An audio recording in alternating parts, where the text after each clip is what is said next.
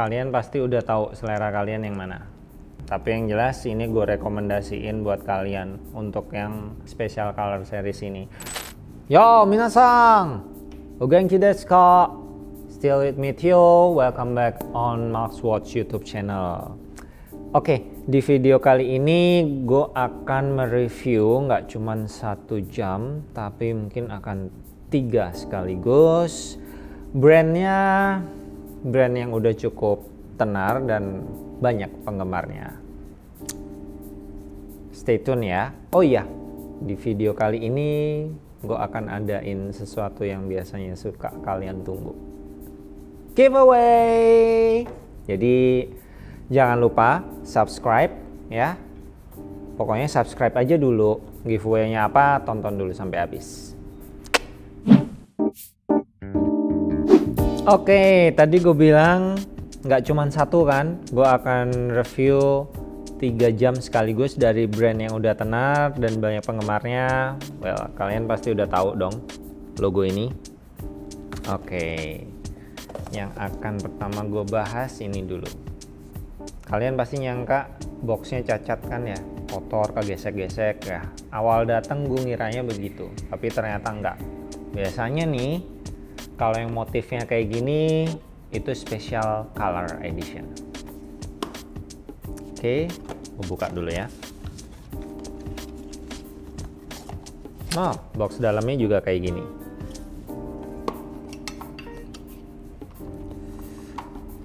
Oke.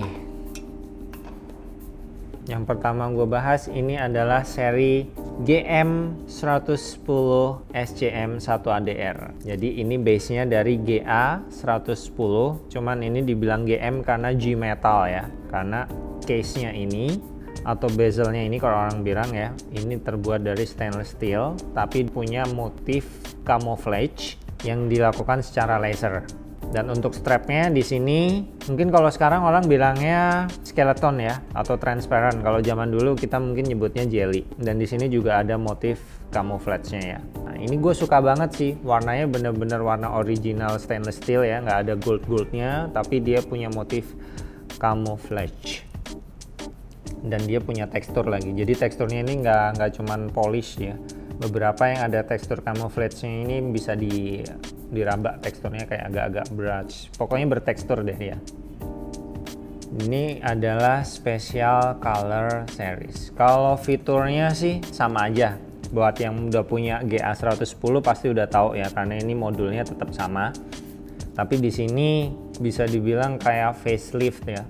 Full silver terus displaynya bukan mirroring cuman kalau gue lihat di sini nah kalau GA110 yang dulu itu lampunya kan uh, orange ya atau amber. Nah kalau ini dia lampunya udah pakai LED jadi warnanya lebih ke putih ya. Nah buat yang belum tahu model ini dia ini gedenya 48,8 mm ya. Jadi kurang lebih hampir 5 cm atau kurang lebih hampir 50 mm tapi dan dia punya tebelnya 16,9 jadi udah hampir hmm, 1 cm 7 mili lah. Tapi nggak terlalu tebel sih seri GA dulu awalnya mungkin GA ini gue lihat tebel banget tapi ternyata enggak dan yang beda lagi untuk strapnya sekarang dia udah punya fitur quick release. Jadi kalian kalau mau yang yang suka gonta-ganti strap di sini tinggal tarik tuasnya aja. Klik geser lepas on handsnya kayak gimana langsung aja wrist check ya. Kayak gini dia. Keren kan? Sporty stylish. Kalau gue bilang elegan mungkin enggak ya karena warnanya nggak terlalu elegan tapi ini stylish banget kalau gue bilang. Dan dia ini adalah tipe yang analog digital ya. Ini adalah base nya dari GA 110 kalau gua sih sebetulnya kalau G-Shock lebih prefer full digital, tapi ya nggak apa-apa, itu about selera aja sih, selera orang beda-beda. Tapi ini adalah salah satu yang best selling sampai sekarang diproduksi walaupun warnanya macem-macem, ada yang kadang ada yang limited, kadang ada yang special color, jadinya dia tetap harus ada. Oke, okay, next. Nah, ini salah satu favorit gua. Personally, salah satu tipe legendary kedua ya. GM 6900 SCM kodenya tetap sama ya. Teksturnya juga sama tapi ini salah satu yang gua suka karena dia full digital selain modelnya yang udah ikonik ya. Dan perbedaannya dibanding yang seri sebelumnya EL backlightnya ya. Biasanya kalau kalian tahu kan EL backlight atau lampu itu kan biasanya backgroundnya yang nyala ya. Tapi ini kalau gue nyalain kayak gini ya kurang lebih. Jadi bukan backgroundnya lagi tapi lebih ke digitalnya. Angka digitalnya itu yang nyala lampunya. Keren sih. Dan dia full silver sama juga teksturnya juga motifnya juga camouflage detalinya juga camouflage semuanya kayaknya ini bahannya setelah gue baru nyadar gue perhatiin kayaknya lebih oke okay daripada yang resin regular sih. Dan kayaknya bakal lebih awet sih bakal resin daripada resin yang regular ya. Kalau di backcase-nya dia nggak ada perubahan ya tetap pakai screw. Fiturnya juga tetap sama kayak DW yang standar ya tapi ini GM karena lagi-lagi ini kan G metal tapi untuk modulnya sama kayak DW 6900 yang basic. Jadi kalau misalkan ada yang nanya ini punya auto L atau belum belum. Kayak ini modulnya pakai modul yang base. Ya mungkin siapa tahu juga kalau kalian udah punya 6900 yang udah ada ya entah itu G atau mungkin DW setahu gua sih G sama DW itu ada perbedaan ketebalan dikit ya. Mungkin kalau seandainya kalian punya ini kalian iseng-iseng mungkin ini bisa di dipindah atau mungkin di custom ke yang lain. Tapi mungkin kalau kalian suka sama ini boleh dicoba sih untuk di mix match. 6900 kan keren banyak. Langsung aja ke next ya.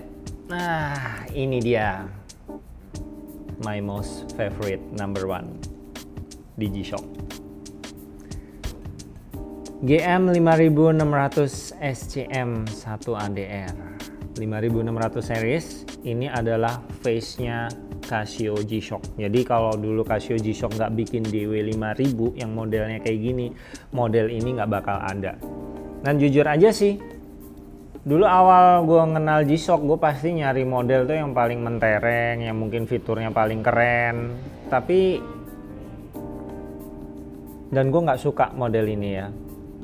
Terus gue tanya sih ke teman-teman yang suka model ini Padahal mereka sebetulnya bisa beli yang mahal, yang canggih. Kenapa sih lu sukanya 5600? Model biasa banget, kecil, kotak. Nggak ada menarik-menariknya dan mereka jawabnya simple. Itu adalah model yang true DNA sebenarnya mereka bilang ada yang bilang gitu. Modelnya diambil dari model yang true DNA. Kalau nggak ada itu, nggak ada G-Shock. Dan itu adalah maskotnya G-Shock. Oh, ternyata alasannya itu setelah gue coba mengenal ternyata grow on me. Dan gue suka banget. Ini fiturnya nggak beda jauh dari 6900 yang tadi ya karena sebetulnya fiturnya sama. Cara kerjanya juga sama. Dia nggak ada work time juga. Dia masih uh, cuman ada waktu alarm stopwatch sama timer aja ya dan mungkin kalau kalian penggemar 5600 series mungkin kalian bisa coba buat custom bezel sama bandnya di tipe yang lain. Who knows? Ini cocok ya. Dan ini special color. Mungkin bukan limited tapi special color. Dan setahu aku special color ini biasanya juga cuman satu season sih. Ada kemungkinan kecilnya mereka nggak akan diproduksi untuk berapa kali ya. Walaupun ini bukan limited mungkin banyak tapi dia hanya diproduksi sekali strapnya juga sama ada tekstur camouflage nya juga. Kalau di on hands kalian pasti udah tahu dong 5600 ini seperti apa. Cool stylish dibilang sporty ini mungkin sporty ya. G-Shock tuh kan kesannya emang sporty tapi ini kayaknya lebih stylish keren.